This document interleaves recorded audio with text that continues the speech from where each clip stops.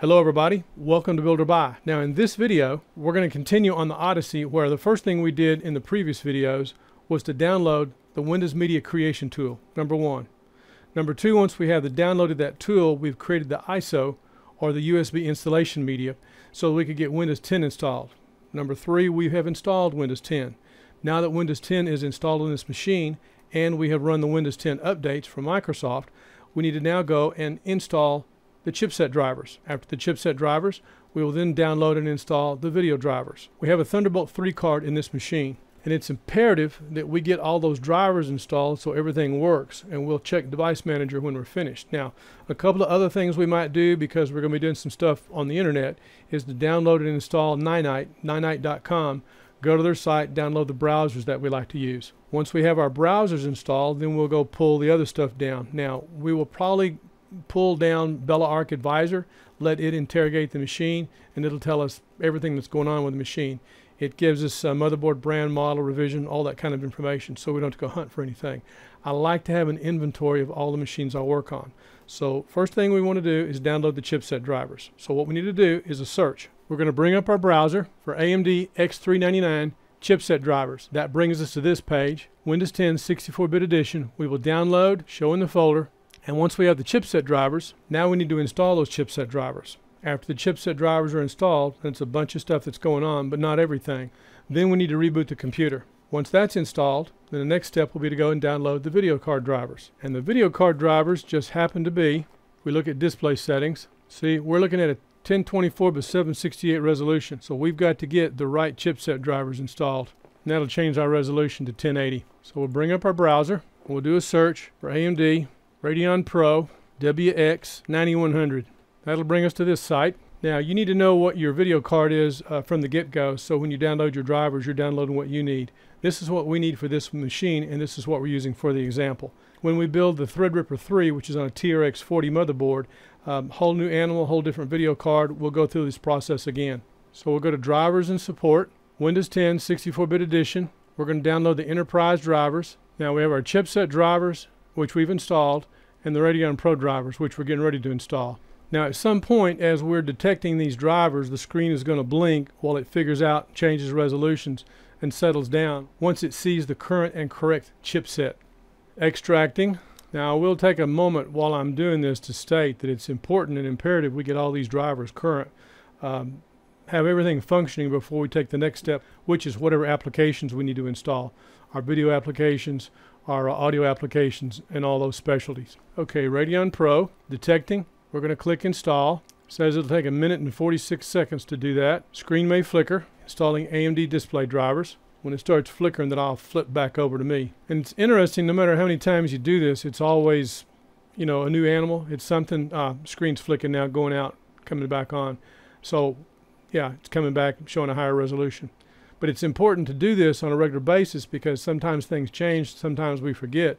But again, this is something we should never take for granted just because we've done it.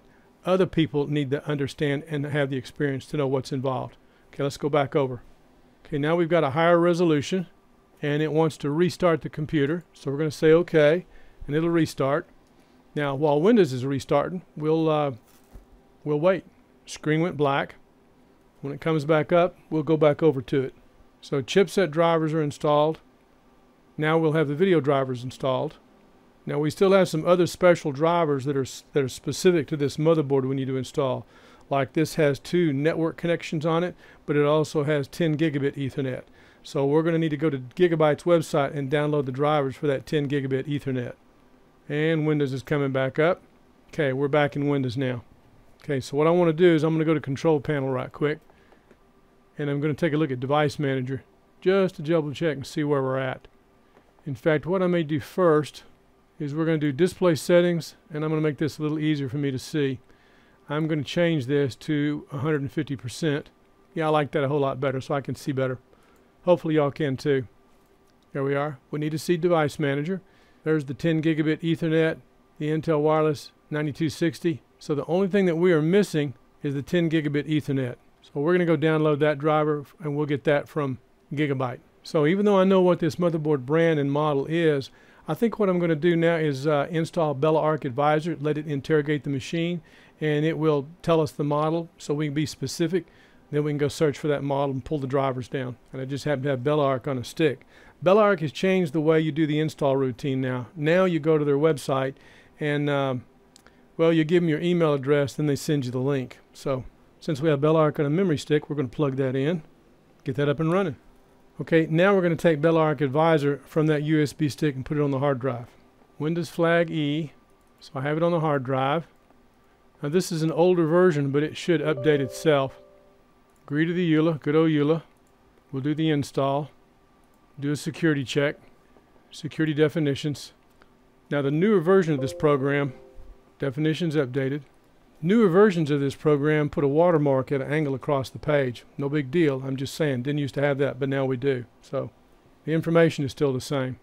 So Belarc Advisor will take only a few minutes to create a profile of this computer.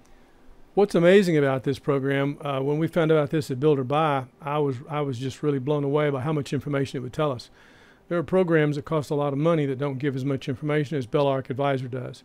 It's a great program to use to interrogate a machine. Any machine I ever work on, I always like to have a report from Belarc Advisor so that I know, because people always say, Gil, you remember my computer that you worked on, whatever we did? I'm sorry, but I've got a, you know, good memory, but it's just a little short, especially after being on prednisone. So I have to, I have to write stuff down. So we're checking the network, and once it's through checking the network, we'll have a complete report of everything. And again, this will tell us the brand, make, model, everything about the motherboard. Uh, I know this is a gigabyte, it's X399, but from there, let's let the report tell us. Okay, we get to pick our browser. So we're going to go with uh, Chrome until it annoys me, then we can switch over to Firefox. And there's our report. Now what I want to say is while I have the report up, I like to put a shortcut for this so I can refer back to this and I don't have to run it every time I want to see the report. It gets a little convoluted depending on which browser I'm using. All I have to do, copy the URL. Let me show you. I'm going to click up in here. I don't want the file name. I want the directory right click, copy.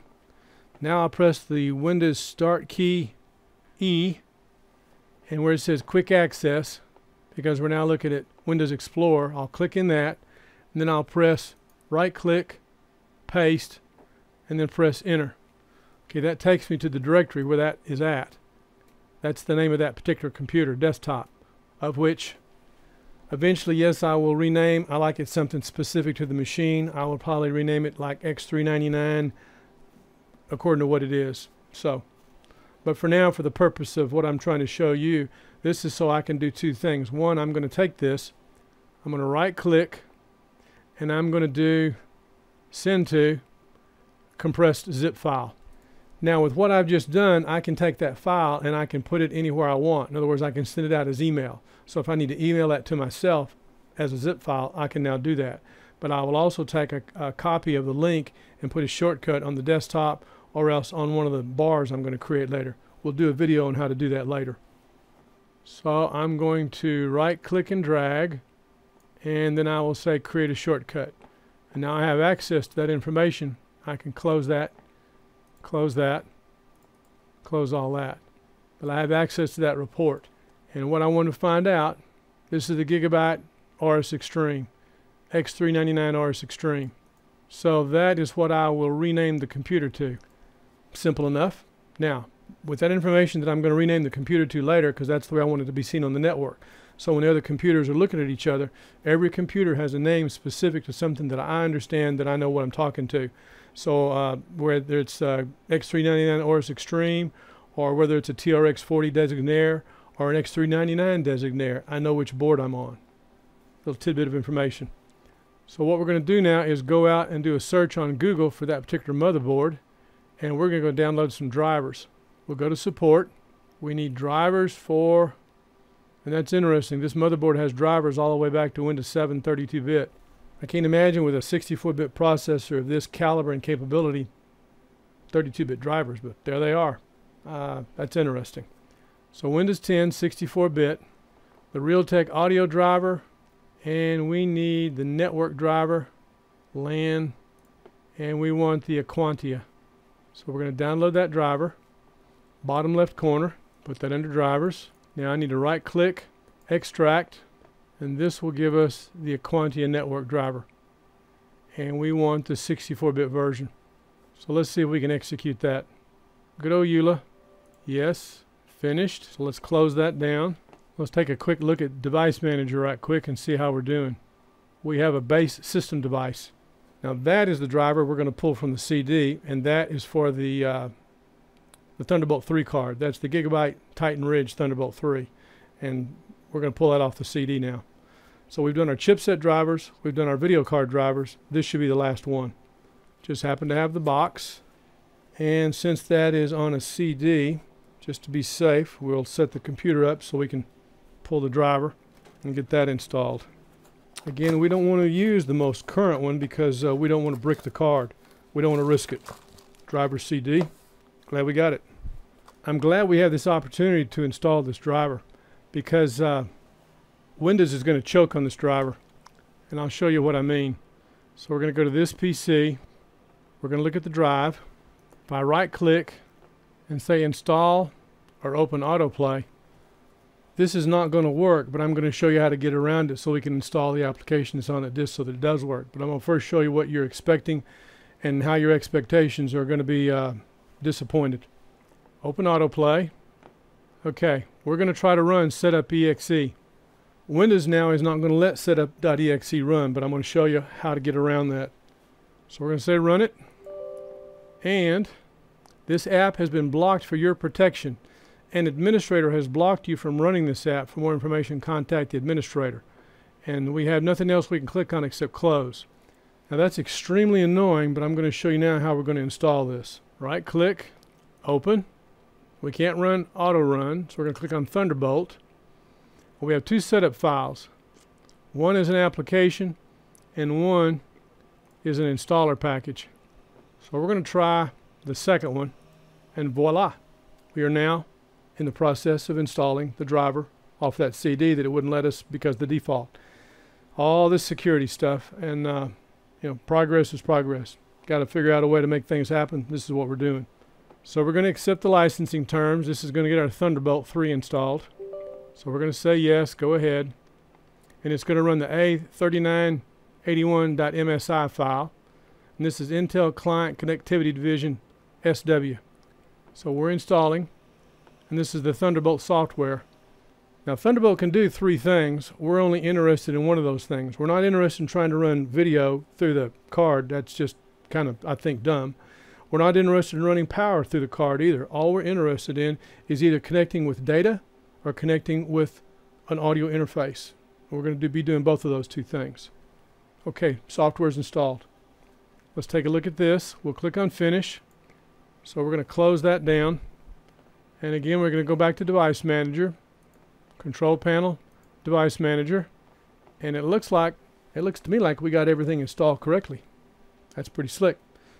But I'm going to double check and we're going to make finish because if we have any errors, we need to know about it now. Now we're going to be doing some more stuff with Thunderbolt and I'm just looking real quickly storage controllers and I'm looking at system devices and everything with the PCI bus. We have enumeration on everything. Typically what you'll have with Thunderbolt is you'll see some of these upstream or downstream switch ports might have an error and there are no errors.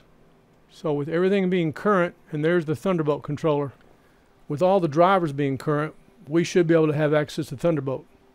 We're going to see. One other place we want to check, be down the bottom right hand corner in the system tray. So I'm going to go over here to the system tray. There it is system tray, Thunderbolt software. I can right click and I can take a look at view attached devices. Of course, we don't have anything connected right now. We're just getting all the drivers in. That's the first step. We're gonna we're gonna do some more stuff with Thunderbolt later. Again, the purpose of this video was to get all the drivers current. We've downloaded the Windows Media Creation tool. We've uh, created the Windows install media onto the USB stick, and now we've done the drivers, chipset drivers, video card drivers, and the Thunderbolt 3 drivers for the Titan Ridge Thunderbolt 3. And now we're taking a look to make sure the application that was installed from the CD, everything's correct. So we can view attached devices for which there are none, approve attached devices, Thunderbolt networking, those two are grayed out right now. manage approved devices, settings, about, and exit. So the settings, and this will tell us Thunderbolt settings, Thunderbolt networking. Allow Thunderbolt network connections without user approval. Create a desktop icon for a Thunderbolt networking connection to an adjacent PC. Notifications. So that's good. Go back down here to the bottom, click on it again. Right click, manage approved devices, of which there are none. Show devices and show computers. Now I'm going to click on right click, about, and this part's really, really important. We're looking at the Thunderbolt software version, the application version, the service version, the controller driver version. Now the networking driver version unknown because there's nothing attached. We see the Thunderbolt controller, Thunderbolt 3 15EB, two ports, security level, user authorization SL1, the non-volatile memory firmware version 23.00, and external GPU supported yes. We're just checking drivers, making sure everything is all hunky-dory and it is so far. So now that we're up and running, we can start working on putting this machine into service. So this was again about getting all the drivers installed, and I hope you found this useful. And that little tidbit, well, that's a shadow of things to come because when we build the TRX 40, we're going to be doing some more stuff with Thunderbolt 3. Of all the motherboards that are TRX 40, there's only one that has a Thunderbolt 3 card, and that also that same motherboard has an NVMe quad card that's PCI Express version 4. So, shadow of things to come. Hope you enjoyed this. I want to thank you for watching this, and I think we're probably done with this for now. So we'll look forward to seeing you next video, and uh, please stay tuned. We got we got more cool stuff going on. We got a we got an ocean of NVMe cards we got to wade through, and uh, we got some more laptops to upgrade. So thanks for joining us. My name is Gil Boyd, and we'll look forward to seeing you next video. Y'all have a great day. Y'all are amazing.